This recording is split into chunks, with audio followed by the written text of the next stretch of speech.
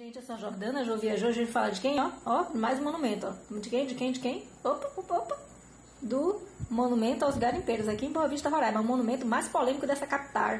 Gente, esse monumento é polêmico, olha, eu discordo com ele. Por mim, eu já tinha passado o trator aí, mas como o povo é meu atrasado, quem sabe daqui a quatro séculos, o meu neto de vocês, que eu não vou ter neto, quem sabe eles passam aí um trator e derrubam e jogam lá no lixão. Pra mim já tinha um obelisco aí no lugar desse negócio, que era o primeiro que tinha aí. A primeira coisa que tinha era um obelisco antes desse negócio.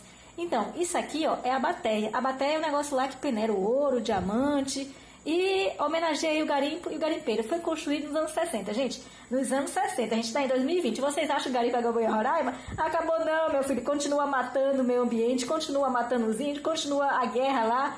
Tudo ilegal. Continua, não adianta lá em federal não. E agora, gente, só piorou. Esse monumento aqui pra mim, ó, já tinha saído. Uh -uh.